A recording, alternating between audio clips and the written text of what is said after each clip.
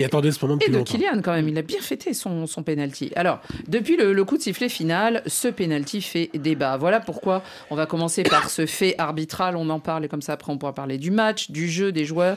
Car au-delà de la colère des Anglais, alors les Anglais hein, dans la presse c'est le Délista volé par la France. Carrément. Oui. Euh, The Sun, c'est la fin du, de match a été la plus écœurante possible. On y va dans la surenchère. Daily Mirror, Newcastle, volé par une action polémique. Mais c'est pas la Annie, France qui a décidé. Annie, Annie. L'arbitre, il était polonais. Le As en Espagne, la VAR vole à la rescousse du, du PSG. est déjà et plus juste. El Larguero, qui n'est pas du tout largué, les rois mages sont arrivés en avance à Paris. Je vais vous donner la parole, ne vous inquiétez pas. Mais écoutons euh, la colère de Newcastle, aussi exprimée par Eddie Howe, euh, gentleman entraîneur des Magpies. Je pense que le penalty n'était pas la bonne décision. Il y a tant de critères à prendre en compte. Il y a la vitesse d'abord, il y a une sorte de ricochet qui, lorsqu'il est vu au ralenti, semble totalement différent de ce que l'on voit en direct. Le ballon touche sa poitrine, puis remonte et touche sa main. Mais je ne pense pas que ses mains soient dans une position anormale. Elles sont au contraire proches du corps, il est en train de courir, tout est dans le mouvement. Je pense que la décision de l'arbitre est donc mauvaise. Tout cela est extrêmement frustrant pour nous, car à ce moment de la rencontre, il reste peu de temps. Mais hélas, nous ne pouvons plus rien y faire. Alors on peut se dire, c'est l'adversaire, il l'a mauvaise, bien sûr. Mais euh, c'est surtout cet après-midi une décision de l'UEFA, et notamment euh, confirmée par notre confrère euh, Étienne Moati dans, les colonnes de l'équipe, qui assure que l'UEFA a sanctionné aujourd'hui l'arbitre responsable de la VAR, celui qui parle dans l'oreillette de l'arbitre central. Alors là, il s'agissait d'un Polonais qui s'appelle Tomasz Wiatowski. Il devait être ce soir sur le match Real Sociedad-Salzbourg, mais pour erreur, selon l'UEFA, dans sa décision, eh bien, euh, il a euh, été suspendu et euh, l'UEFA pourrait aussi punir Monsieur Marcignac. dont on se souvient tous, puisque c'était l'arbitre de la finale de la Coupe du Monde. Est-ce qu'il faut rejouer le match, Bruno, puisque l'UEFA reconnaît qu'il y a une erreur? Bah, bien sûr que non. Non, non. Si on commence à rejouer tous les matchs et, où il y a des erreurs d'arbitrage, on n'a pas fini. Déjà que les Mais la calendriers VAR ne sont nous sauve pas surchargés. du doute, donc, euh, et de la contestation. Non, mais je, voulais, je, voulais- je vous avais interrompu, pardon, mais c'était quand vous édictiez tous les, tous les noms des tabloïds qui sont d'une violence bien. sans nom. On a fait exprès Et avec David notamment le Finzel. Sun qu'on n'a pas envie de citer parce que c'est un abominable journal anglais. J'ai pas cité de journaux euh, sportifs. hein, mais c'était le sentiment, oui, effectivement, c'était le sentiment de s'être fait voler à la fin. Mais je pense que ça discutait beaucoup à la sortie du Parc des Princes Mais bien Oui, mais bien sûr. Ok, ok, il n'y a pas penalty. on- Je pense qu'on sera tous d'accord. Ou on a le droit de pas être d'accord. Mais, mais sauf que le résultat du match, c'est plutôt un nul. Si on est honnête.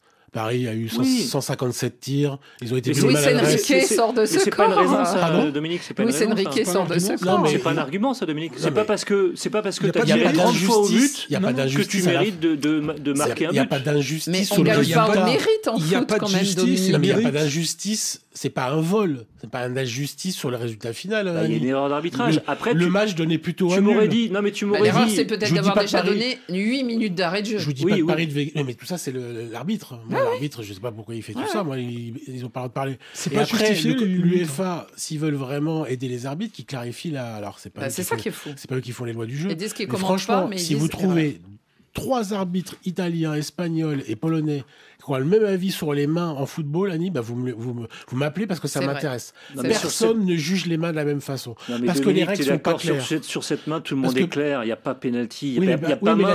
Quand le ballon rebondit sur le corps du joueur Voilà. avant de toucher la main, qui n'est Oui. pas au-dessus de l'épaule, parce Oui. que ce qu'on avait dit, c'était quand on élargit la, Oui. la- la le ballon surface corporelle avec la main au-dessus Et de le ballon ne l'épaule. va pas. Et là, c'est pas le cas. Et en plus, il y a le joueur qui a même pas un mètre. Le, côté ça l'attaquant touche avant une partie du corps, ils l'avaient abandonné ça, les textes. Oui, oui, mais il y a et là circonstances maintenant l'UEFA le remet en disant c'est cette c'est Ouais, comme mais s'ils l'ont remis Donc- de façon officielle en début de saison mais et que les arbitres tout ont joueur. Mais aidez les arbitres, aidez-les. Sauf que hier, c'était la règle. Dites un truc clair. Dites Non, si mais c'était clair. Pour cette saison, c'était clair. L'arbitrage de ce PSG Newcastle continue de faire polémique. Salut à toi et bienvenue dans cette vidéo. Dans cette vidéo, on va revenir sur l'arbitrage de ce PSG Newcastle. Mais avant de commencer, si tu me découvres à travers cette vidéo, ici nous on parle de foot, ici nous on est passionné par le foot. Donc si tu es intéressé par la thématique, si la thématique te parle, n'hésite pas de t'abonner, d'activer la cloche de notification pour ne rien manquer des prochaines vidéos. Si c'est fait, on est parti. Alors les amis, franchement, le PSG s'en sort vraiment très très bien.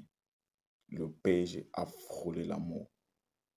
Le PSG, s'il perdait ce match, il pouvait dire adieu à la suite de ces compétitions. Il pouvait dire adieu parce que lorsqu'on regarde le classement actuel, Dortmund est premier avec 10 points. Le PSG vient avec 7 points. Derrière, tu as euh, Newcastle, Milan aussi. Du coup, donc, un match nul va sérieusement compromettre la qualification du PSG. Pour éviter les calculs, le PSG doit absolument battre Dortmund à Dortmund. Et ça, c'est grâce à l'arbitre ou à cause de l'arbitre. Parce que l'arbitre a donné un penalty très généreux. Un penalty très généreux au PSG. Très, très généreux, les amis. C'est inadmissible que le penalty que l'arbitre donne au PSG, cette main-là, 20 minutes plus tôt, il y a eu cette même main, mais l'arbitre a décidé de ne pas siffler le penalty. On ne sait pas pourquoi. Pour moi, l'arbitre pouvait, ou bien il aurait dû siffler penalty sur Hakimi. Sur Hakimi, moi je pense que il y a plus penalty sur Hakimi que la main du jeu de Newcastle. C'est clair et net. S'il avait sifflé penalty sur Hakimi, ça n'aurait pas choqué les gens. C'est juste que il a décidé de ne pas siffler le penalty sur Hakimi. Bizarrement, il pas sifflé un penalty quasiment inexistant. Un penalty qui plombe complètement Newcastle. Imagine si tu es supporter de Newcastle. Si tu es supporter de Newcastle, tu seras vexé. Tu seras vexé parce que Newcastle n'a plus son destin entre les mains. Pourtant, s'ils avaient pris les trois points, ils devaient avoir le destin entre les mains, mais ils n'ont plus le destin entre les mains. Et c'est vraiment, c'est vraiment gênant.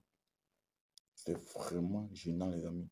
Donc, moi, je pense que, moi, je pense que, les amis, ce penalty-là a plombé Newcastle. Et c'est, c'est aussi euh, à l'UEFA d'aider les arbitres parce que il n'y a pas vraiment un règlement clair sur l'arbitre. Sur les règlements que les arbitres doivent vraiment appliquer. Il n'y a pas vraiment de règlement clair. Ça change toutes les deux secondes. Toutes les deux secondes, le règlement change. Tantôt, la main doit euh, être coloco, tantôt, euh, la main ne doit pas agrandir la surface corporelle. Bref, il y a vraiment tout et n'importe quoi sur, euh, sur les mains. Sur trois situations, trois arbitres arbitrent un match sur une même situation, il y a trois décisions différentes. Est-ce que c'est normal ça? L'arbitre doit, comment dirais-je, ils doivent universaliser euh, les mains. Que quand le ballon touche la main, il y a pénalité. Ou bien, pour moi, hein, à mon avis, l'arbitre doit dire, dès qu'il y a main, il y a pénalité. Là, ça va clore le débat. Peu importe, intention, pas intention, dès qu'il y a main, il y a pénalité. Comme ça, c'est une règle qui sera appliquée pour tout le monde. Si tu en bénéficies, tant mieux. Si tu n'en bénéficies pas, tant mieux aussi. Là, ça va éviter les interprétations que non, euh, non volontaire, volonté, main penalty, pas main, pas penalty. Aussi simple que ça. Pour moi, si l'arbitre, si l'UEFA euh, met un règlement disant que dès qu'il y a main, peu importe la situation, peu importe l'intentionnalité, s'il y a main, il y a. Si l'arbitre fait ça, pour moi, il va résoudre 95% des problèmes. 95% des problèmes. Parce qu'on sait que la décision arbitrale, les décisions arbitrales peuvent changer le cours d'un match, voire même d'une saison. Pour le coup ici, ça a pénalisé Newcastle. Ça pénalisé Newcastle. Oui, beaucoup vont me dire que non, le PSG mérite de gagner, ils ont tiré 31 fois au but, etc. Sauf que dominer le match ne signifie pas gagner le match. Malheureusement, tu dois concrétiser tes occasions. Si le PSG n'a pas réussi à concrétiser ses occasions, si le PSG a été inefficace, ce n'est pas la faute de l'arbitre. Ce n'est pas parce que le PSG a été inefficace que l'arbitre doit donner un penalty cadeau. un penalty venu de nulle part presque. Donc, euh, franchement, cet arbitre-là, j'ai appris que cet arbitre euh, aurait été sanctionné par l'UEFA.